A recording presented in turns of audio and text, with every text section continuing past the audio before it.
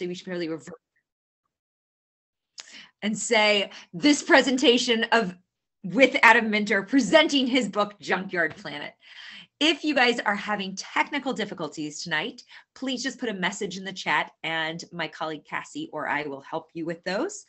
Um, I suggest, and I know most of you are pros at this point on uh, the Zoom thing, but just putting it in, in a speaker view so you get the highlighted presentation and the speaker enlarged. Um, there's going to be time for Q&A at the end, so feel free to throw your questions in throughout and um, both myself and my partner Beth Gabriel at the Milwaukee Public Library will be monitoring that and we'll be relating the questions to Adam as uh, after his presentation. And I've got to thank, first of all, our partners at the Milwaukee Public Library. They're so tremendous and they've shared this with the community and they do so many great things about encouraging uh, broad, not just literacy, but like really directed understanding subjects and topics. And so we're so happy to partner with them. I also have to thank our fabulous funders from the Wisconsin, from Wisconsin Humanities. Uh, we received a major grant from them, and that includes funding from the NEA um, and from the state of Wisconsin. So thank you so much for that support. When we were developing the pieces of this exhibit and figuring out how we could relate this exhibit one of the big questions people kept asking is well, where does recycling really go? What are we doing when we recycle something? What happens to our recycling? And these are all really difficult questions. And it's a little bit fraught in this moment that you start thinking, well, I've heard some things about China. I've heard other things. I don't know. I hear that I should recycle these things. I hear I can't recycle anything. I feel like, and it's, there's so much conflicting information. Adam's book, Junkyard Planet, did such an amazing job of bringing this story home to me and making me, first of all, understand the global impact of my decisions, but also just understanding how broad scrap is and how wide ranging uh, the the range of products that can be scrapped and are scrapped are. So I'm really excited to hear. I feel like this is almost like getting an addendum to the book. If you'd like to buy the book, we have it available for sale. Cassie's going to throw a link up. You can pick it up at JMM, or we'll we're happy to ship it to you. Um, and now it's my pleasure to turn it over to my uh, colleague at Milwaukee's East Library, Beth Gabriel, who um, is going to introduce Adam. Hi, thank you so much for having me here this evening, um, Ellie, in the Jewish Museum and Adam. I'm so thrilled to be included in tonight's author feature and presentation. The Milwaukee Public Library is committed to an environmental literacies and working with our community partners, of which the Jewish Museum is an important one, um, especially as we as a library are diving into our citywide race equity and inclusion initiative in the coming year. Um, with that in mind, um, I will ask um, Ellie and her team to put a link in the chat. Um, the library wants to hear from all of you, so please consider filling out a brief survey to help us at MPL provide the best services to our patrons, creating a culture of inclusion and equity where all are welcome. So just check the chat in for that link. Um, I also want to invite everyone to check out a really amazing book list that my team at the library put it together for this um, wonderful exhibit, the Scrapyard Innovators of Recycling exhibit. Um, it'll give you further reading along with Adam's book, which was just amazing when I read it. Um, the list and more are available to you at your Milwaukee Public Library with your card. You can also pick up a really cool upcycle take and make Hanukkah craft kit at all of our library locations and the museum while supplies last. I just put one together with my children and it was really a lot of fun and it includes this amazing informational booklet that will walk you through how to make everything, highlight all the STEM principles that are involved, talk about recycling and scrapping and the things that you can do with items in your home, and um, also other um, cultures that use candle lighting as part of their tradition. Um, and then that's all for me about the library, but without further ado, let me introduce our featured speaker tonight, Adam Minter. Adam is a columnist with Bloomberg Opinion and the best-selling author of Junkyard Planet, Travels in the Billion Dollar Trash Trade, and also secondhand travels in the new global garage sale. He spent nearly two decades based in Shanghai and Kuala Lumpur, reporting and writing on the inner workings of the global recycling trade. In addition to recycling, Minter also writes widely on China, technology, and culture. So everyone, let's please welcome Adam, who's gonna take over our presentation this evening. Thank you so much for being here, everyone. Thank you, Beth, and thank you, Ellie, and thank you, Cassie, and thank you, the Jewish Museum. This is, um, for reasons you'll see as I get more into the presentation, this is very meaningful to me to speak uh, at a Jewish museum, at a Jewish venue about Jewish scrap dealers in the Jewish scrap industry. I first saw this exhibit that this talk is timed to um, when it was in Baltimore. And, uh, and I think it's just terrific. Um, I know many of the people who helped to organize uh, so many of the various pieces and artifacts that are in it. I consider some of the people in the exhibit personal friends and, and even closer, which I'll get into uh, in a little bit. So um, I am going to, you're going to see my face now and you're going to see my face at the end, but mostly you're going to see uh, my presentation. And we're going to go through a bunch of slides tonight and I'm going to take you um, literally around the world. Um, so I'm going to right now shift from me uh, to the PowerPoint. I'm sharing my screen and here we go. So I want to start with this photo. This photo was taken in the early 20th century uh, in Russia, probably in Minsk. We're not sure. I've spoken to the family members who had it. And um, we have three gentlemen here. Only the one on the left is known. His name is Abe Leader. He was he looks like a young dandy, um, but it wasn't a very dandyish life. Um, at that point, he was getting ready to leave Russia for the United States because he was going to be inducted into the Tsar's army, and he was Jewish, and that was not a good place for a young Jewish man to end up. So it wasn't all bad. Um, he had dreams of being a vaudevillian, believe it or not. He wanted to go into show business, from being a, uh, you know, a poor fellow in uh, Minsk to being a vaudevillian. Um, but it wasn't easy either because he was going to leave his family behind, and that haunted him the rest of his life. Still, uh, he got on the boat, and his first great misfortune was um, he was taken to Galveston, Texas, and not New York. So not a great place to be a vaudevillian. And when he landed in Galveston, he had no English no education, no workable skills. So, what do you do when you don't have any skills and you land somewhere? Well, he did what a lot of people do around the world. He became a rag picker, literally picking rags off the streets and selling them for recycling. It's not a, back then, it wasn't new, and it's not new now. People still do it. Um, uh, here we have a picture from a company called Star Wipers in Ohio. And what they do is they buy bed sheets and clothes from all over the world and cut them up into rags and sell them to auto shops, bars, hotels, anybody who needs to wipe something down. So Abe got to start selling to businesses like these. Um, he quickly moved up in the world. Um, rather than picking textiles off the streets, he started picking metal off the streets of Galveston. And he did something like this. There's no pictures of Abe doing this. This is a picture I took in uh, Shanghai uh, almost 20 years ago in 2002. Um, it is and was an emerging market, just like Galveston in the early 20th century. There's a lot of construction going on then. And so people who don't have other means of employment they go and they do this. They find metal, they take it around and they sell it to mills that make it into stuff so that uh, you can send it somewhere else and, uh, and make new things from it. Now, it wasn't all good days. Abe had days like this. Uh, this is a photo I took in Beijing. Uh, the man on the right is Mr. Li. That's his wife. And they live in this trailer. This is actually an old shipping container. And they go around picking up, they did it this time, uh, recycling from around the neighborhood where they are and they sort through it. So it's a tough life. But again, what do you do in Beijing? They're immigrants. They come from a place called Sichuan province that speaks an entirely different dialect of Chinese. They're heavily discriminated against. So you pick trash, just like Abe did. I want to introduce you to another character. The man in the striped shirt is a man by the name of Raymond Lee. Um, this is a photo taken in Guangdong province. You've all heard of Guangdong. And if you haven't heard of Guangdong, you have things from Guangdong. It's when you talk about the factory of the world to the world, it's actually this province in Southern China. They make everything and everybody has something from there. So including maybe the computers we're all uh, talking to each other on and listening to each other on. Uh, to Raymond's right is his wife, Yao Ye, and to his left is cousin Yao.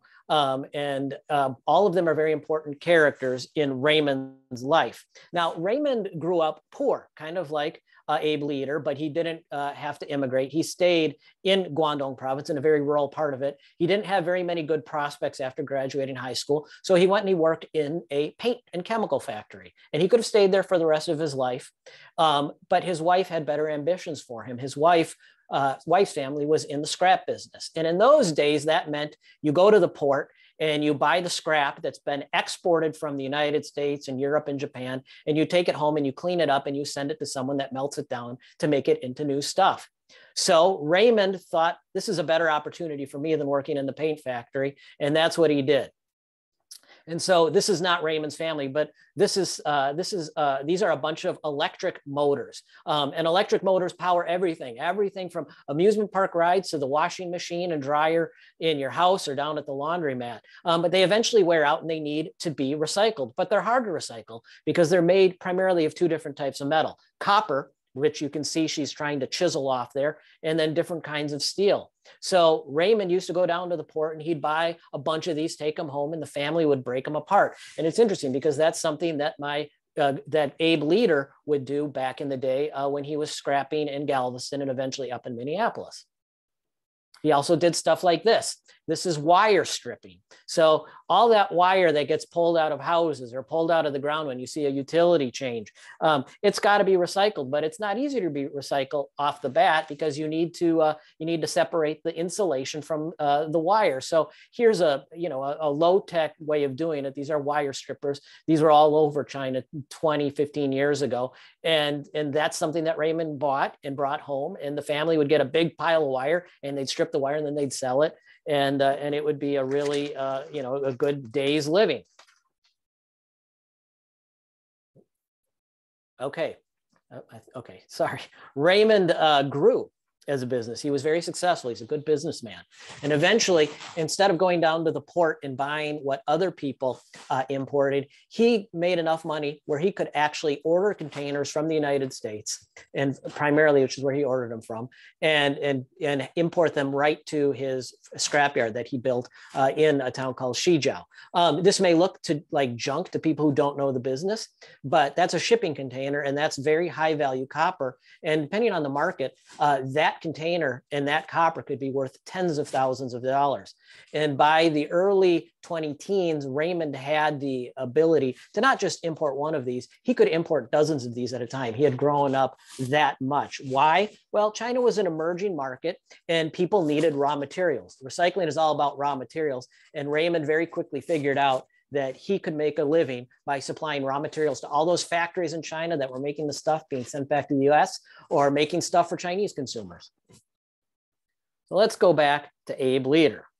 Um, you know, one way of looking at what Abe did is he was also supplying raw materials to an emerging market because that's what the US was in the 1920s, 30s, 40s, up to World War II. Um, he did it a little differently. There was a lot more stuff in the US in those days. So he would go scrapping in people's backyards. He also would go scrapping uh, at farms, lots of farm scrap, farmers, broken down equipment, that kind of thing. That was a really good thing for uh, Abe Leader. And over time, he also grew and he also got himself a scrapyard. And uh, this is uh, this was provided to me by the family. This is from 1947, a couple years after World War II. And this is he would be buying from factories. So factories generate a lot of recycling. You know, when they they have stuff drip on the floor, they cut stuff, and all that's little pieces and bits and pieces. And so as Abe grew, especially during World War II, because World War II was very good for uh, Abe, and it created a lot of manufacturers who created scrap and wanted scrap. That's what Abe did, and you can see this is a you know in 1947, 843 dollars worth of scrap metal. That was not a small thing. I don't know what that is in today's dollars, but it's many, many, many thousands of dollars. The the fella did did good coming in from Russia. And here's his scrapyard back in the day. I, we think this photo was taken in the late 1950s, but by that point, he could afford a crane, he could afford a truck.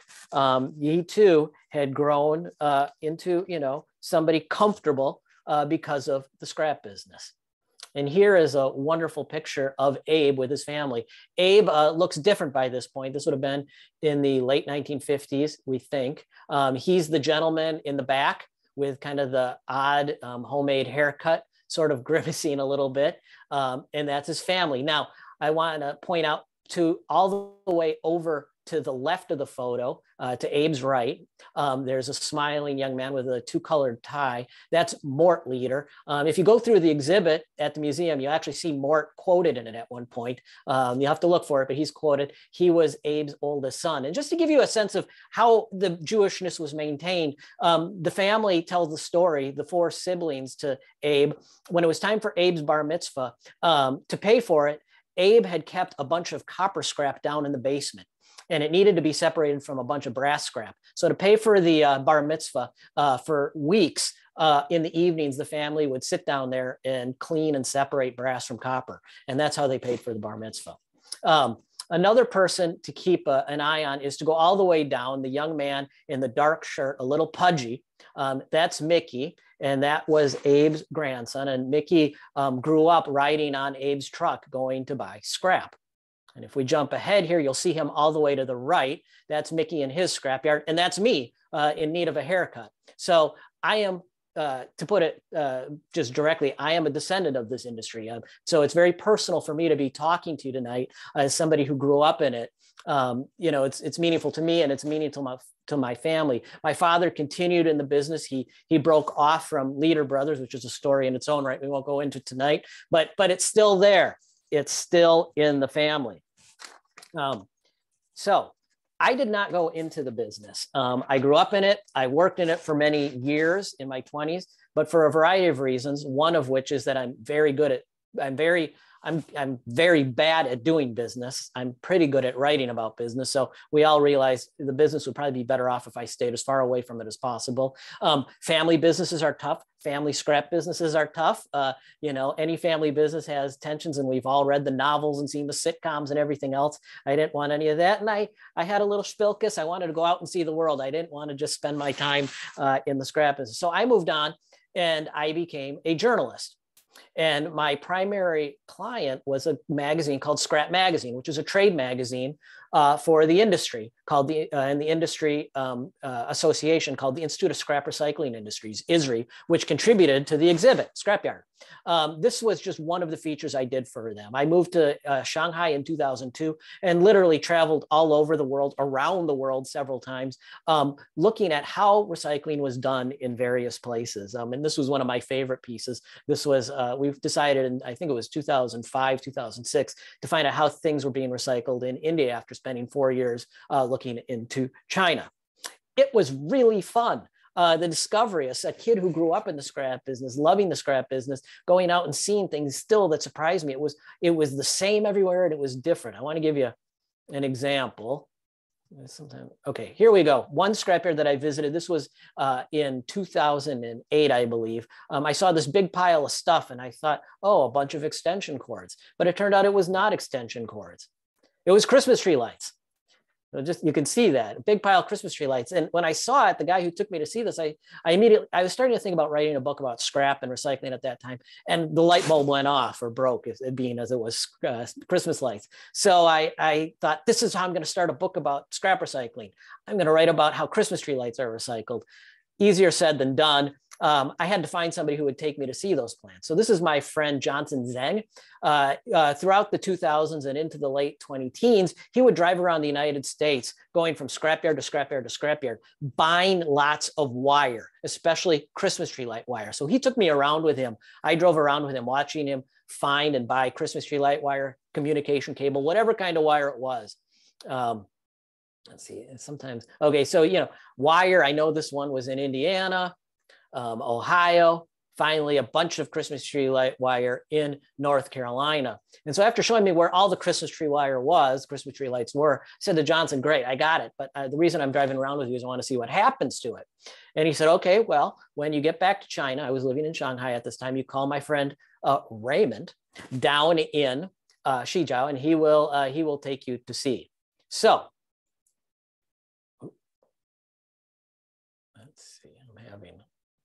There we go.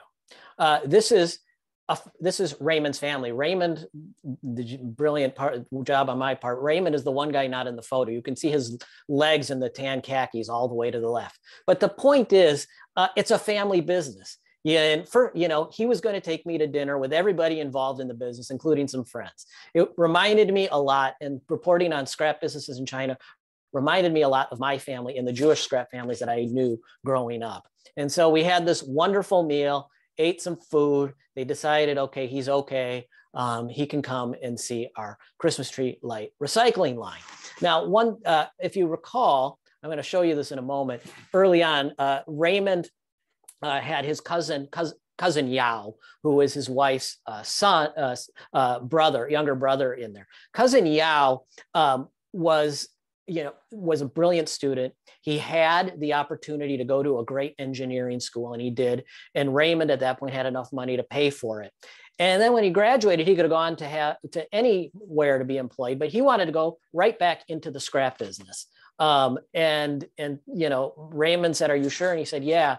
And so uh, he came into the scrap business. And one of the things he wanted to do was design a way to recycle Christmas tree lights because they got a lot of them. Now, the way Christmas tree lights were recycled before what I'm going to show you is is real simple. You take Christmas tree lights, put them in a big pile, dump a bunch of gasoline on it, set it on fire. And in the morning, you got a pile of crusty copper bad for the environment. You don't get to recycle the uh, the uh, rubber and you know and air pollution, everything else, and the government didn't like it.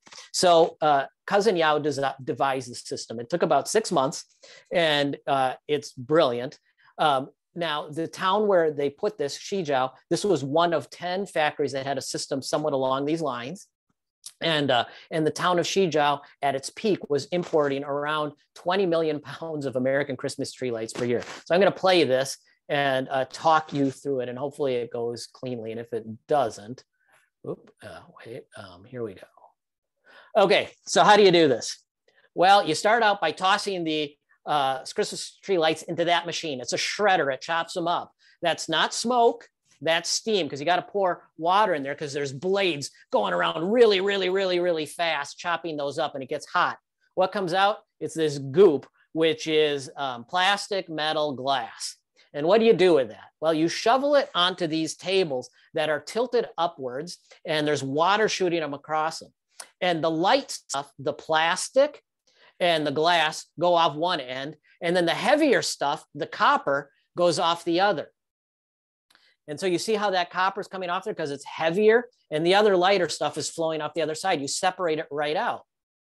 And you can see she's pulling out this really nice clean copper um, it was really hard to calibrate this, which is, you know, I'm sure you can believe, um, but they did it. And it's all, um, you know, cousin Yao's kind of genius. And here's, you get a look at it, what they're pulling out of there. So it's pretty cool. And sometimes they run it through another time. You see the mix up of brass and everything. Um, you can see one more, here's a pic of it where you see the, the tables tilted upwards and you can see the plastics down on the bottom. Um, that's and a little bit of uh, copper down there, but mostly it's the plastics. Um, people often ask me what happens to the water it just circulates through the system. So it doesn't get dumped in the river that runs next to this. So it, it's super cool. And it shows, you know, you, they're upwardly mobile. They're, you know, investing in the education of their kids and they're making the world a better place. And, and they're in the process getting even more wealthy. That's a big pile of copper. Um, that's worth, I, I don't know, maybe if we have some scrap people on the call here today, they can tell you. But, you know, at the time this was taken, copper was, you know, in the range over $3 per pound. And that's a lot of poundage there. So so they did they did really really well with this. So let's go back to Minneapolis from Shijiao, Shijiao to Minneapolis. So this is a picture of the scrapyard I grew up in. Um, uh, it was just outside of downtown Minneapolis. Scrap metal processors is what it's called little warehouse, um, certainly not as extravagant or as uh, wealthy as what Raymond pulled off in China, much to his credit. But it was home. I look at this and I kind of get homesick for those days a little bit. Um, some of my earliest memories are running around this warehouse and other warehouses. And I don't recommend letting your toddler run around scrap warehouses. Um, bad idea. Um, but you know, if you own a scrap warehouse, it's going to happen, and they're really magical places. Just keep an eye on the kid. Trust me and this is my Bubby. Um, and she worked uh, in the scrapyard and um, she would love to be on this call. She passed away about 10 years ago. Um, but she was really um, central uh, to my uh, understanding of junk. She taught me a lot of what I know, more than maybe even my father. They might argue over that. Um, but she worked at the at the office, and what she would do is when trucks came or people came with their recycling, she would um, you know get the weights from the truck scale and uh, record them, and uh, you know be tough on the customers and uh, argue with the truck drivers, and then be really nice to me. Um, now, I want you to see her office. It's very important. There's two things to note in the office. Uh, number one, in the foreground, that's her paper shredder. Uh, if you need anything to disappear, you go to the bubby. It's how it is. There's no two ways about it. And then in the back, even more important, is the refrigerator, where there was always at least three or four dozen frozen kosher hot dogs. And so if you're on her good side, you got a kosher hot dog. And if you were a really good customer, she might even go through the trouble of defrosting a bun for you, um, which you know was not done for everybody. But it was a very, it was a family business. Um, and that's one of the things that made it work. We trusted each other and um, you know, it was a lot of fun. Now, she was also a true scrap character. Here she is with some of the fellas in the warehouse. And she loved hanging out with these guys. And these guys are bigger than they look. The fella on the left, the one with the American flag t-shirt, keep, keep an eye on his face. He once fought George Foreman. So, um, you know, it, you know, you can see the, the resemblance there. Yeah. Uh, Rocky Sikorsky. It didn't work out well, but he did it. Um, but the interesting about Rocky is, you know, he boxed, and then when he was done boxing, he needed to go into something, and so he did what a lot of people, sort of outsiders, because boxers are outsiders. He he went into uh, the scrap business. The funny thing about Rocky is he was terrified of my bubby because on payday she would chase after him to make sure that he would uh, take some of his money and put it in his retirement account. So he would literally, this giant man would hide from her this tiny woman in the warehouse so she wouldn't run off with his money you know into the uh, into the uh, uh, into the um, uh, retirement account. So this is how I think of her. And I would. This was a photo I took when I was living in China, in Shanghai, and uh, I was home and I took a picture and I want and I put it on my wall. Um, she didn't really like me photographing her at the desk, but it reminded me of when I would call her up, which was most days. I'd call her up, it'd be the morning, and she'd be on the phone, and truck drivers would be yelling at her, Betty, Betty, I need the weight. You're talking to Adam. We got to give me the weight. Um, but she always wanted to know where I was, and she was worried. You know, she would always say, "Where are you? What are you doing?" And I would tell her I'm in this or that place, and and and she always sounded nervous until I told her I was at a scrapyard, and then she'd be like, "Oh, okay." You know, so I would talk to her from say a place like this. This is a, a company in Shanghai I went to several times to write about Sigma.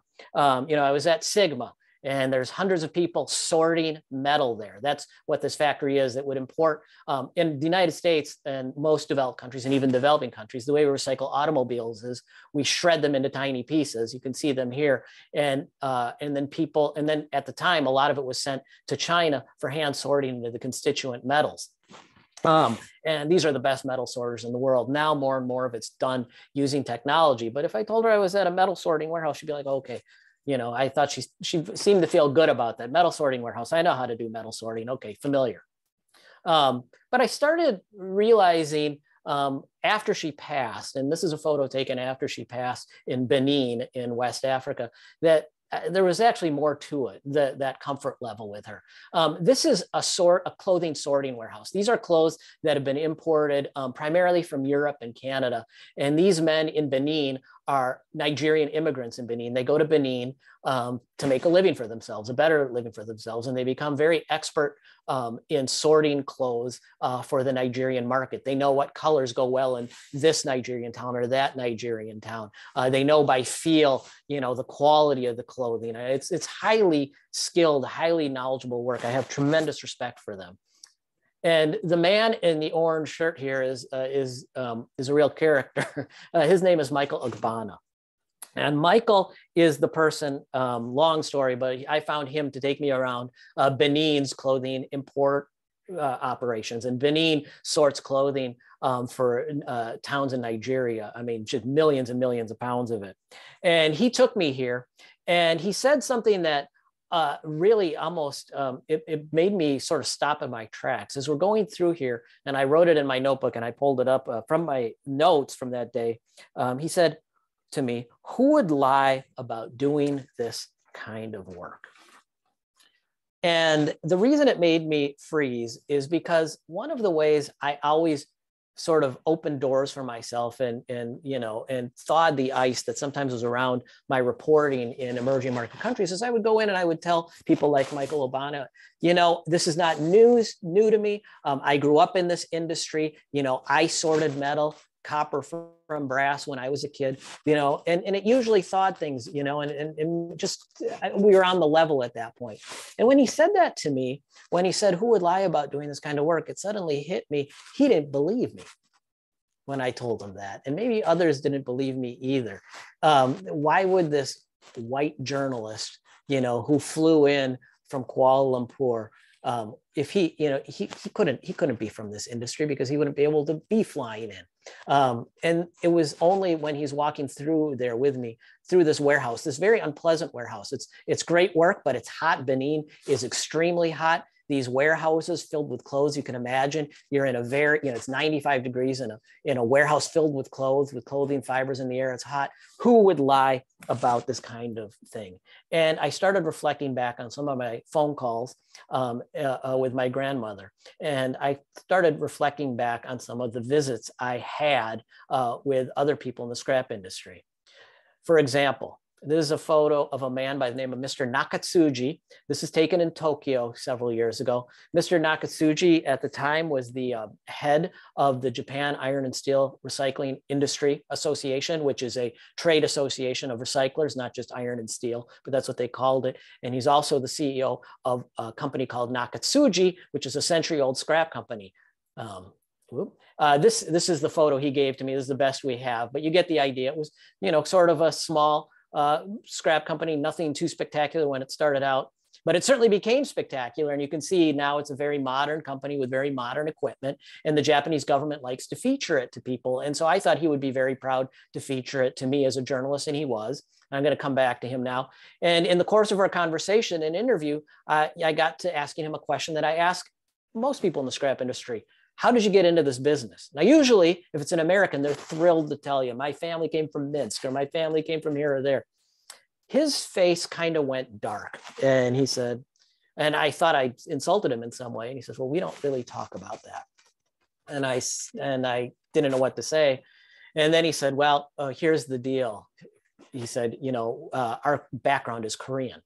Now, if you know anything about Japan and Korea, um, you know, Jap- uh, Koreans were brought to Japan as slave laborers a century ago, treated very badly. There are long-standing, very vicious levels of discrimination against them in Japan, and it's not something he wanted to talk about. But it occurred to me that, like the Nigerians in Benin, um, like the Jews in Minneapolis, like um, some of the other folks I'm going to show you, the, the Sichuanese in Beijing, he too was an outsider to the industry. They were immigrants and it's what they could do. It's what was available to them.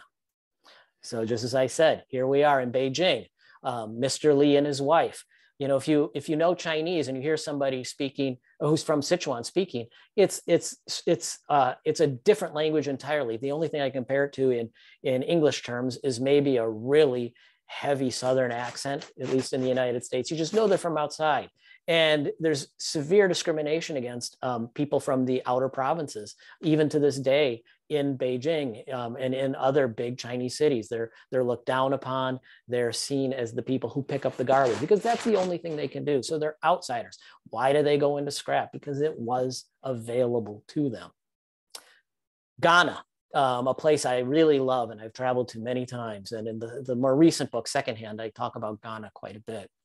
Um, this is a very famous place. Some of you might have even heard of it called Agbogbloshie, uh, which is a big dump in the heart of Accra, the capital of Ghana. It's been called incorrectly the world's largest e-waste dump. In fact, uh, people get it wrong. It's actually a giant automobile recycling operation. Um, and it reminds me of some of the ones I grew up seeing. But the people who work here, including the woman you see walking through there, are not the people from wealthy Accra, the capital. They're people from the north of Ghana, which is much poorer. And they move down to work in Accra and when they can't find other employment, they come and work here. They're outsiders in the industry. It's what they do when they can't find something else. Um, this is Yusuf Mahama. He's the tribal elder um, from the Dagbani tribe That's the tribe that's primarily represented in Agbogbloshie, this giant dump and automobile recycling yard. Um, and I spent some time with him a few years ago. Uh, very interesting man, very gentle man, but uh, you can see there's there's a backbone of, of titanium as well. And I was talking to him about being Dagbani in Accra, and he says it's very hard for our people to find employment. And he said, so we created this space for our people to have somewhere to work. That's what he said to me. I actually pulled it out of my notes. And I was very moved by that because it kind of got me thinking again about my Bubby and Abe leader. And that brings me back to this and I began to, oops, it doesn't, there we go. And it began to, uh, you know, I began to realize what my grandmother was really saying to me, you know, when she was, when she was okay with me being around so-called scrap people, you know, it was a commonality and it was a familiarity, but it really wasn't about the fact that she and I know how to sort copper from brass, and so do the people in Agbogbloshie and in Shanghai and in Changsha or wherever I was calling her from. Um, it was a shared, it's being a shared identity as being outsiders, you know, and that's um, as trash pickers, as junk people, junk men, junk women, um, Jews in a marginalized profession. All of a sudden, you know, as I'm traveling the world and I'm explaining to who these people are, she understood it. Um, you know, it's it's a fraternity, um, a sorority, if you will, of people who are outside and have no choice to go into this. Um, and that was, I think, one of the reasons that she really felt comfortable. It made me think um, one day I was um, sort of reflecting back on it, Exodus 22 20. Uh, you shall not wrong a stranger or oppress him, for you were strangers in the land of Egypt. You know, again, it's our outsider past. Now, Jews are not outsiders to this industry anymore. We, we have museums. Um, certainly, we can be marginalized at times, but but that's our roots, and that those roots have been repeated.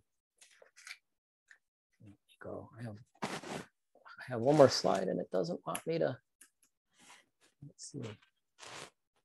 There we go. There she is. I want to I want to end with my Bubby in her basement with her junk. Um, uh, my father used to complain that uh, the biggest thief in his business was his mother you know because she would people would bring in metal and if she saw anything that she thought was good candlesticks vases vases uh, you know planters um, you know uh, she she considered it her right to take what it was her son's and bring it home. And she did and she was very very proud of this junk. She was never shy about showing it although if you know came to her house and she offered to show it to you it was a great honor and i always tried to impress that upon um, my friends. Anyway um, that's what i learned from her. You know she learned her her father learned the people who i've visited around the world they've all learned to value those things that others don't value. Um, she saw value in here and she was very proud to show it off. Um, and she, in turn, learned to value those who others don't value. You know, um, she was very touched um, when we started seeing um, uh, Hispanic migrants up to the Twin Cities um, get into the scrap business. And she um, she could be a tough cookie on the scale, but she was always extra kind to them because she recognized something in them um, that she had experienced.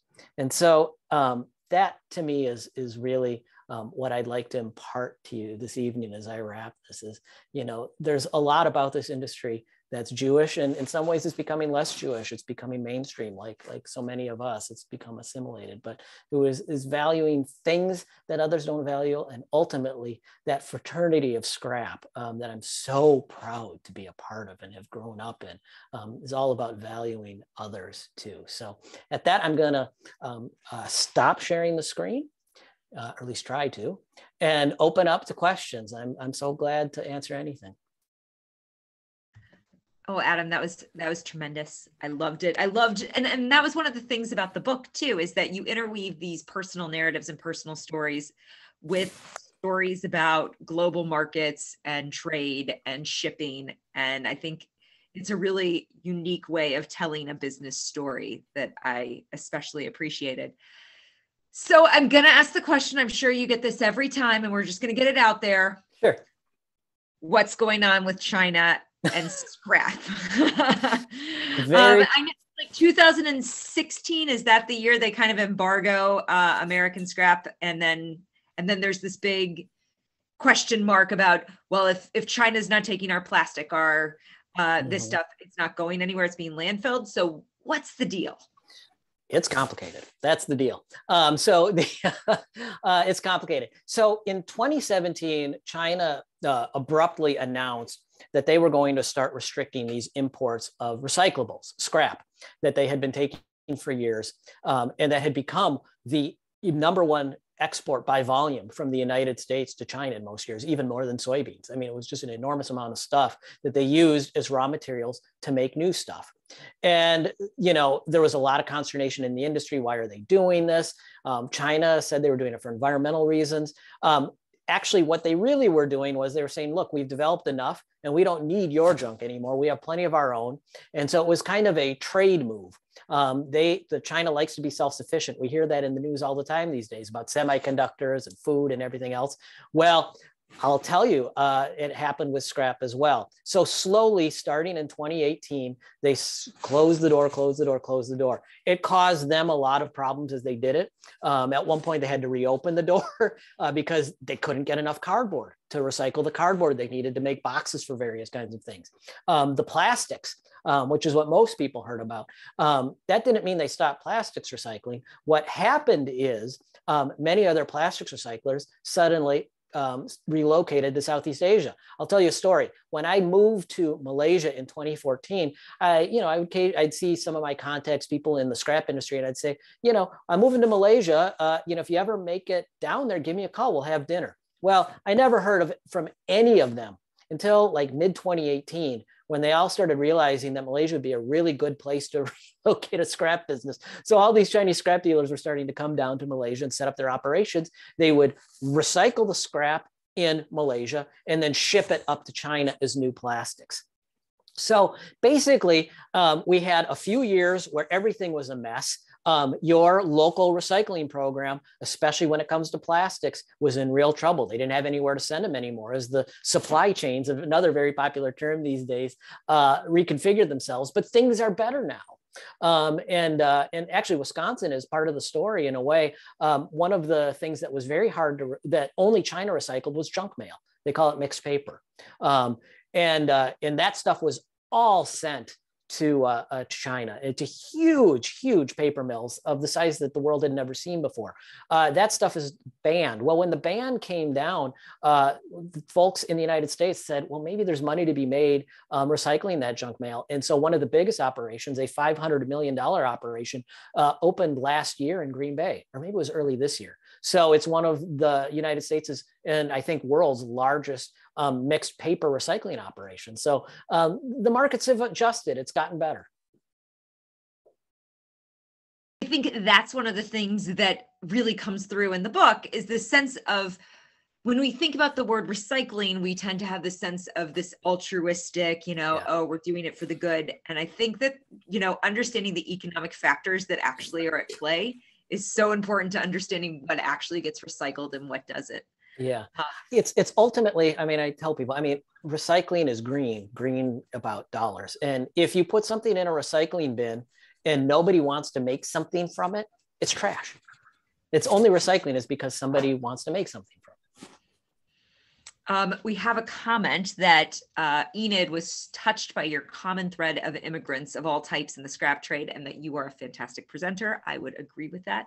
Oh, Um, I want to say, Beth, did you want to ask anything or because you know me, I can keep going all. uh, all yeah, no problem. Um, I loved all the photos. Um, were a lot of those from your personal collection, or how did you find, you know, the photos in the book and you know in your presentation? Because um, yeah. fascinated in that.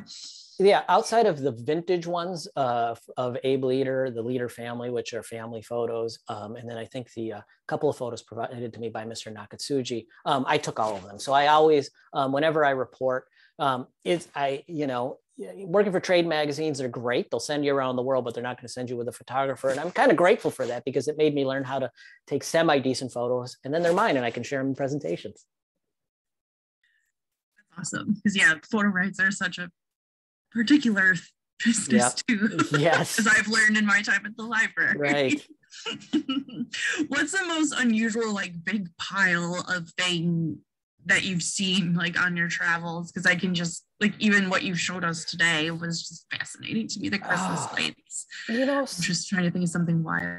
you know, for me, um, gosh, off the top, I mean, I've seen, I think I've seen a little bit of everything. I mean, I remember when e-cigarettes were coming out, I was at a junkyard that was in southern China that was devoted to just recycling um, the uh, the canisters from e-cigarettes. Um, uh, you know, another time in India, um, India is always a tough place to recycle because I mean, it's just the conditions are not good. No, I didn't talk much about that in this talk. I have another to talk about when I talk about the working conditions. Um, but I'll never forget seeing people um, peeling the foil off blister packs. So you know, if you get like um, uh, like a, a buy Tylenol in a in a pack and you pull the foil off the back, I saw people actually doing that um, on a mass scale. They had gotten the blister packs, which is what those are called, from hospitals, and they were peeling the foil off it uh, to recycle it. But you know, when I think back on on the things that have astonished me most, it's usually the scale. I mean, I have been um, I have been in plants where there are tens of thousands of televisions. I've been in um, recycling uh, textile uh, warehouses where you just you just cannot imagine that there's so much clothing and they're they're bringing in tens of thousands of pounds a day. Uh, it's oftentimes the thing that gets me is the scale. I think as I was watching, you know, the presentation and you see, you know, when you're re- reading the book and you're like, oh, Christmas lights can be recycled. Great. That's awesome. They're not going to a landfill. And then on the flip side, you're learning that the way, at least in the early part of the 20th century, that they're being recycled is by burning off the Yeah. rubber, and, you know, all the pollutions that it causes. It really in that, you know, like you're damned if you do, you're damned if you don't. Um, so I was heartened by the technological approaches that are being found. Do you find that that's similarly happening with e-waste, which also has a lot of environmental degradation that comes with it? I was just talking to somebody about this. Um, so I I started um, going to e-waste plants um, as early as 2002. Uh, Chinese ones, um, Indian ones, and you know, and they're pretty atrocious. Um, uh, but the the thing that needs to be remembered about the e-waste, it's it's interesting. The the stuff that was being exported from the U.S. to China, imported by China, it wasn't sent there to be burnt. Most of that stuff was actually refurbished. They would part it out, and so many of the people um, who I met in China who were in their 30s, they would talk about how their first computers were used, brought in from the United States. You know, pieces come in from different places, they put them back together, they jerry rig them. Nonetheless, the recycling process when it finally comes was pretty atrocious. The good news is, is that I won't say all of it, but in China, um, especially, which was the largest place where it happened, um, the technology has improved considerably, and you're starting to see options for recycling these things, um, you know, in Europe and in the United States and in Canada and Japan. So I won't tell you that the e-waste problem is over, but the understanding that so many of us have from these early documentaries is definitely outdated. Um, except when you get to places that are really inland, like if you go to, you know, into you know, really inland in Ghana, where there's just no way to ship it out to somewhere else. Yes, you're going to see people burning. But I'll tell you what, um, I can tell you uh, with absolute certainty, I can take you to parts of rem- remote parts of North Dakota where people burn wire still. I know of it. Um, so, I mean, it's it's very easy to say it's this other that does it, but trust me, um, we do it too. And, and I can tell you, I, I say this without embarrassment. I mean, back before we knew better, I mean, my family, and when I'm talking about, I'm talking back to Abe Leader, he did plenty of burning on his own because he didn't really know what the impacts were. I'm not excusing it, but I will explain it. You know, it, it happened everywhere. Barbara comments that this looks like backbreaking work. And I think that's true Oh, yeah. At all scales of, you know, scrap is hard work. It's long hours and the margins are tight. And we have so many scrappers who kept saying to us, oh, it's feast or famine. Um, and I think that that's one of the things you never know. You've taken in this big uh, shipping container full of potential wire, and maybe it's not what you think it is, and all of these Right. other sorts Right. of things. How, um, so since we didn't hear your talk on working conditions, is there anything that's going on with working condition? I, I mean, I and and mm-hmm. what are the variables with working conditions throughout the Yeah. global trade. Yeah, I mean, it depends where you are, but I can tell you in China in particular, conditions have gotten a lot, lot, lot better. And the reason is, I'm sure we've all, you know, everyone has heard China has a very rapidly aging population, shrinking workforce. They're being paid more. When you're paying people more and it's hard to get help, you treat them better. Um, and that's just how it is. And so in China, uh, the level of um, occupational safety has risen a lot, um, you know, and and that's happening in some places, um, not in others. Um, you know, it's it's all economics really, and and it's not. You know, it's easy to say, well, you know, the employer treats them bad. Um, there there are employers who treat people bad, but when you're in emerging market countries, developing countries, you know, places like Ghana, places like Agbogbloshie, um, you know, they're you know, you're working for yourself, and um, and you know, you're calculating for yourself what is the risk payoff you know that that's worthwhile. And unfortunately people make some bad choices i would say. Um, and it's a hard subject. So it just really depends where you are. But but in terms of of china and much of southeast asia it's improved a lot. India you know it's hard. I haven't you know i, I want i really want to get back to these places. Covid's made it hard. What's made it impossible to do it you know? Ask me in about a year because i i intend I intend to go back, I really want to see what happened during the pandemic uh, in some of these places. Do you have a sense actually in terms of COVID, how this has shifted markets or changed things? Oh, I know everything right now is in this supply chain and shipping and trucking, and there's so many hangups in so many different parts of the system. How has this impacted the global scrap market? Oh my gosh, it's been crazy. So let me give you one really entertaining example. Um, toilet paper. So most people don't know that there is a lot of, uh, who doesn't like to talk about COVID and toilet paper? Um, so, um, you know, most people don't know. I mean, you can go to your store and you can see, okay, there's, there's toilet paper with recycled content in it and they'll advertise themselves.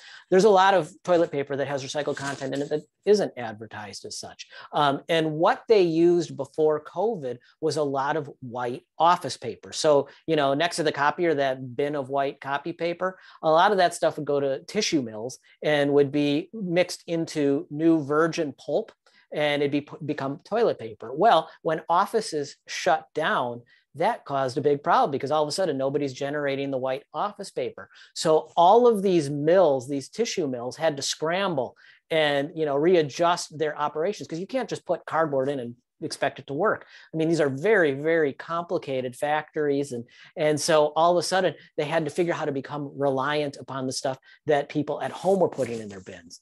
And so it completely shifted things. And so the home recycling bin during COVID has become much, much, much more important, um, you know, than it used to be. It used to be sort of less preferred form of recycling because it's, it's, a little bit dirty. You get food waste on it and everything else. Well, now with the office paper not being generated, um, the the mills had to rely upon it.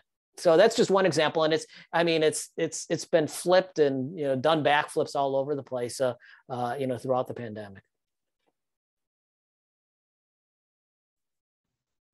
Wouldn't even That have is- thought about that. Wow.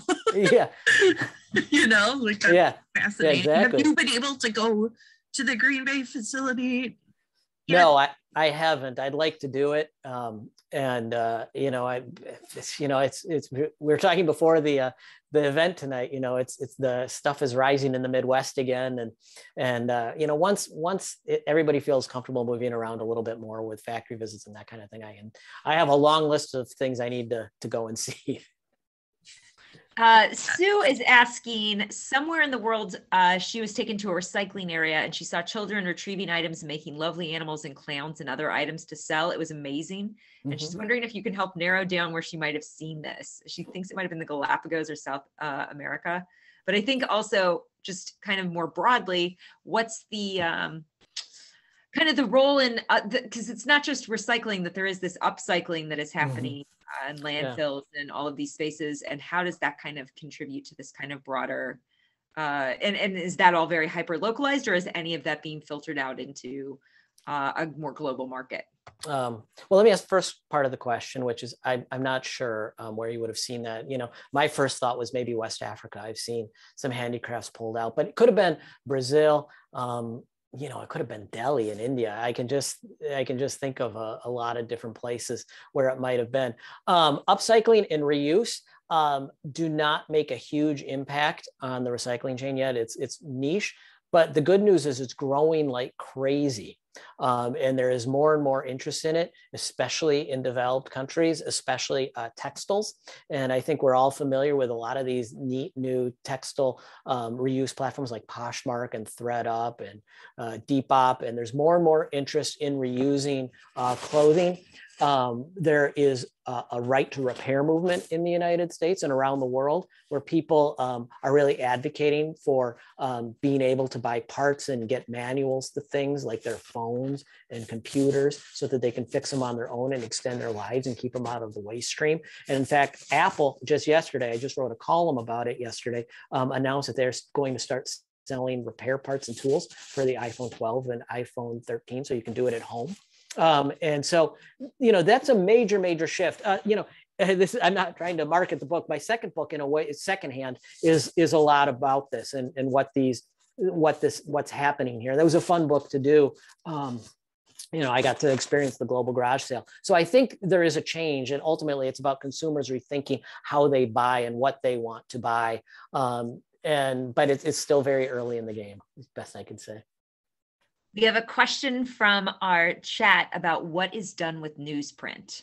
Oh yeah, I mean newsprint. Um, uh, newsprint is easily recycled. There isn't as much of it anymore, so the uh, the mills aren't as reliant upon it. But it used to be a major, major constituent of of the recycling supply chain. Twenty years ago, if you went and looked in a blue bin, you'd have a bunch of Sunday paper stacked up in there, and that newsprint could be recycled into new newsprint. Some of it would go to tissue mills. De-inking was a process, so you could make it into toilet paper. And there's some of that still goes on, but it's a diminishing um, diminishing supply. People are buying fewer and fewer newspapers, but but it, it is it is a commodity grade, and mills will buy it and recycle it.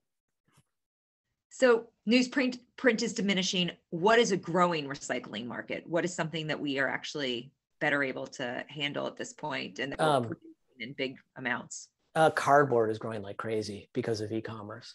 Yeah, Residential cardboard. Yeah, oh, that's that's huge. Yeah, that's the big one.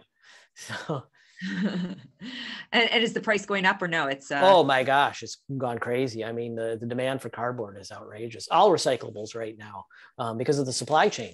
Uh, people need raw materials to make stuff. So it's a really good t- right now. You know, as you know from the exhibit, it's boom and bust in the recycling industry. We are in a really good boom period right now.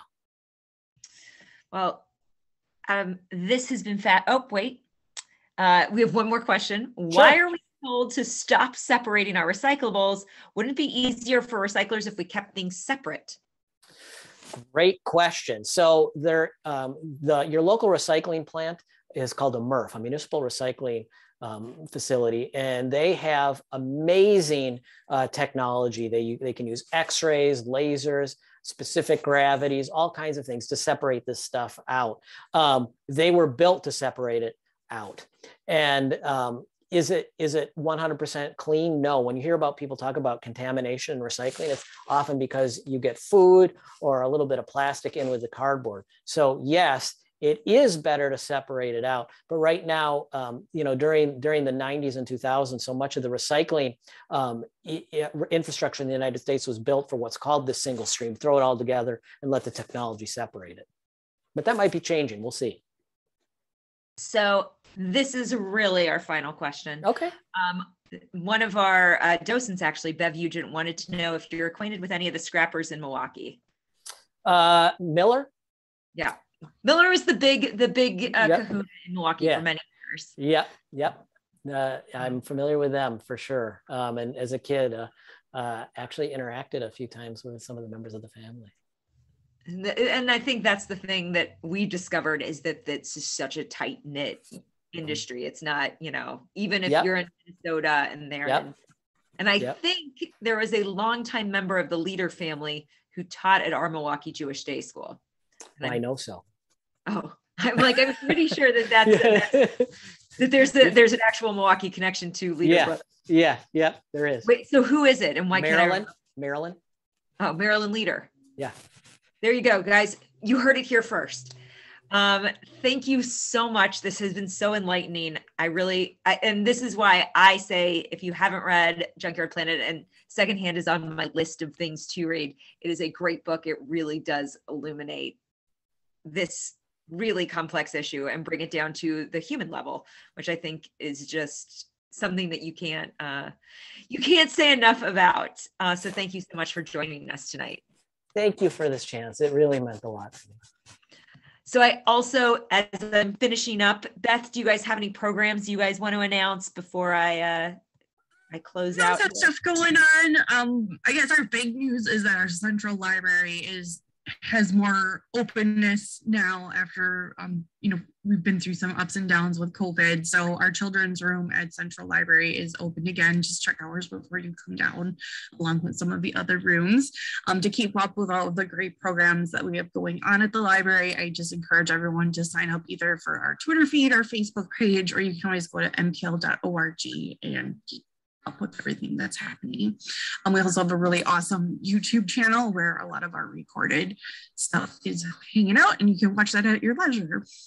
So thank you so much for having me, and I'm so glad I was able to meet you tonight, Adam. And thanks to the Jewish Museum for our partnership on this excellent series. So thank you so much. There are a couple of great things coming up with the at the museum on Tuesday, November 30th, that's the Tuesday after Thanksgiving, we have a tour of the Russian metro, uh, exploring the unique underground palaces of Moscow and St. Petersburg. If you happen to be part of our Global Museum Passport last year that we went on the tour of uh, the Hermitage in St. Petersburg, uh, our tour guide is the same and she's amazing. So please make a point of marking your calendars noon on November 30th. Um, and then on December 9th, we are picking up with scrap programming again. And this is a really interesting program. We have Arnie Peltz and Joseph Ehrlich talking about the scrap industry um, and its impact and its connection to Holocaust survivors in Wisconsin. We feel like this was a pretty um, unique Wisconsin experience, and we're really excited that Arnie uh, and Joseph will be in conversation together facilitated by Rachel Peltz, and that's going to be on Thursday, December 9th at 7 o'clock p.m programs like this are really made possible through funding and funders. And if you, I know many of you already made a donation, but if you haven't, uh, Cassie's going to throw a link in the uh, chat. And for me, this is uh, this is goodbye. So thank you all so much for everything. I have loved every moment at Jewish Museum Milwaukee, and I've loved working with all of you. So have a wonderful, wonderful night.